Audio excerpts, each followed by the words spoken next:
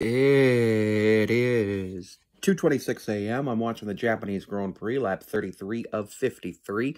I'm going to go ahead and take Buffalo 3, Detroit 1. This is in the NHL, where I'm 707 and 508 through 1215. Minnesota 5, Chicago 1, Carolina 8, Blue Jackets 3, Arizona 3, Sharks 2, Washington 4, Ottawa 3, New Jersey 2, Nashville 1, Rangers 4, Montreal 1, Anaheim 4, St. Louis 1.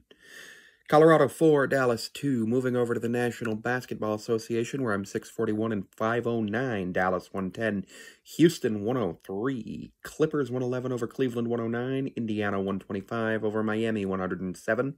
Boston 124 over Portland 102, Oklahoma City 111 over Charlotte 102, Orlando 109, Chicago 108, Toronto 114, Washington 90, Phoenix 114, New Orleans 102, New York Knicks 101, Milwaukee 100, Philadelphia 126 over San Antonio 102, Brooklyn 124 over Sacramento 102, Golden State 123, Utah 111, Lakers 101, Minnesota 100. Moving over to Major League Baseball, Oakland 4, Detroit 3, Cleveland 3, Minnesota 2, St. Louis 5, Miami 2. Hold on, that's actually yesterday's predictions.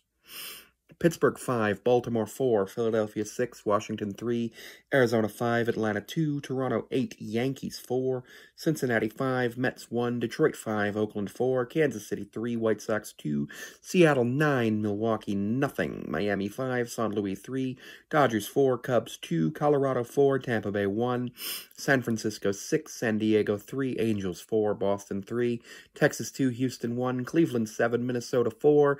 My record is 77 and 50. 52. And if you've made it to the end of the video, comment Grover Cleveland made me fart.